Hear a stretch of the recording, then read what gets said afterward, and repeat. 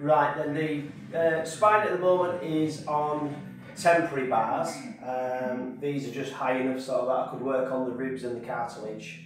Uh, now that I've assembled the legs, well I've assembled the uh, one of the back legs just to show you how you work out the, the height. So basically the position of the leg I want is about there.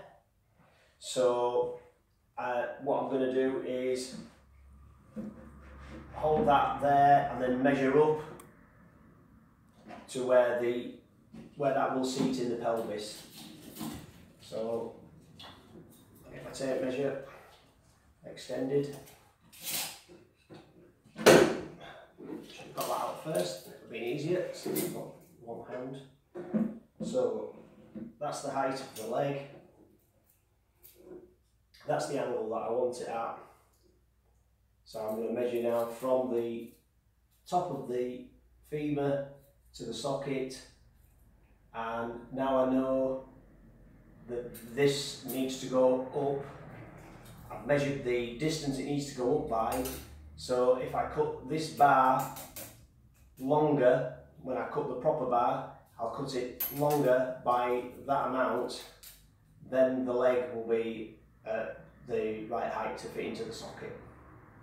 Um, the front is, I'm going to set the angle of the front uh, to go with the position of the animal and then build the build the angle of the leg to fit where the scapula needs to be. So I'm going to get the back legs on first. Uh, so the next job is cutting this bar to the height and the uh, for the reason that I've said it would be do it would be to do that. Right, the spine at the moment is on a temporary support, so these bars are not the right length obviously because there's the back leg and uh, there's the ball joint and there's the socket. So what I'm going to do is I'm going to cut a bar to replace this temporary bar. I need to work out the height that this needs to be. The way I do that is uh, quite simple really, is put the leg on the base and then I can measure from the top of the femur to the socket. And that will give me a measurement. So I've got there 10 inches. So basically when I cut the bar it needs to be 10 inches longer than this bar to lift the pelvis up by 10 inches so that this ball joint will fit in the socket. That's how you work out the height. Right, so I've cut this bar to length. Um, I think it'll go over the bar. It's, this is 16 and the, the temporary one, but the, uh, the other one only a 14.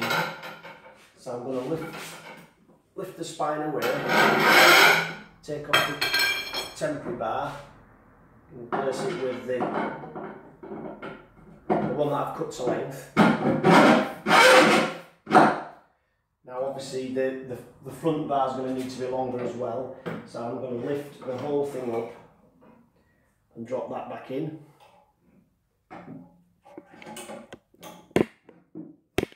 then I can measure how much higher I want the front.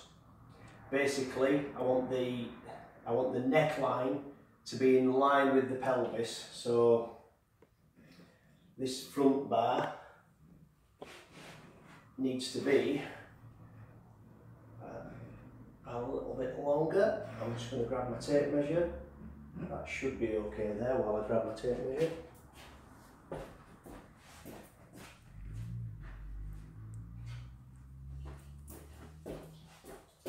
That behind me.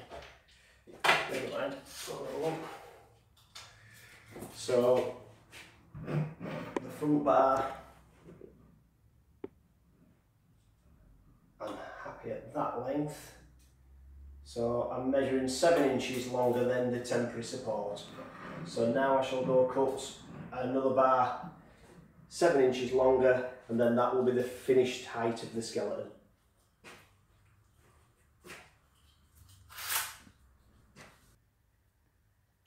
Okay, so I've cut the front support bar. Um, I don't know if it was fully clear what I mentioned about the height, but basically with the reference picture that I used earlier, the the bottom of the neck is roughly in line with the with the pelvis ball socket. So what I, what I did was basically uh, lifted lifted the neck here to get the that in, in line to the height that I wanted to go with my reference picture and then measured the, the distance that I needed to lift the bar by.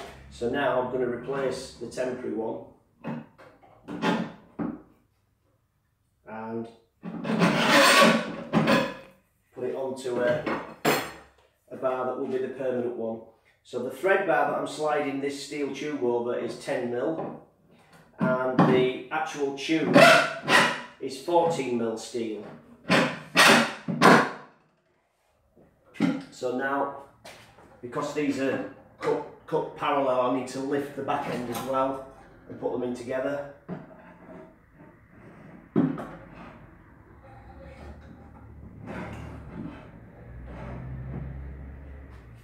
So now the height uh, is set and that is the final height that I will be building the legs to at the front.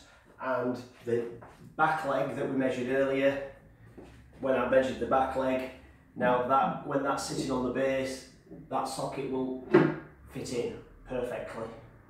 Um, so that's the way that um, I personally set the height of my skeletons there's different ways you can do it. You could have a you could have a bar, a, a nut on the bar and a shorter tube and just wind the nut up till you get it to a height that you want and then measure. Uh, I've done that before if you're really fine tuning but because the leg's already built the actual measurement to the socket is um, it's set in stone really because the leg's are already built so um, e either way you will get to the end result of the skeleton being at the height that you want it. Okay, I hope that was helpful. Cheers. The steel tube that I mentioned, I mean, uh, there's steel tube suppliers, you probably get it online. I go to a local DIY shop with an orange banner um, and the steel just comes in raw steel like this so basically I, it's rubbed down and then I, I spray it. I prefer black to match the base. Uh, I've got some on aluminium as well. For smaller skeletons I use aluminium bar. Um, so that's the bar covered. Uh, next job will be fitting the legs. So if you uh, want to subscribe and turn on your notifications and then when uh, I upload new videos you'll get to see the new stuff coming out. Uh, next job up is doing the legs, so catch you soon.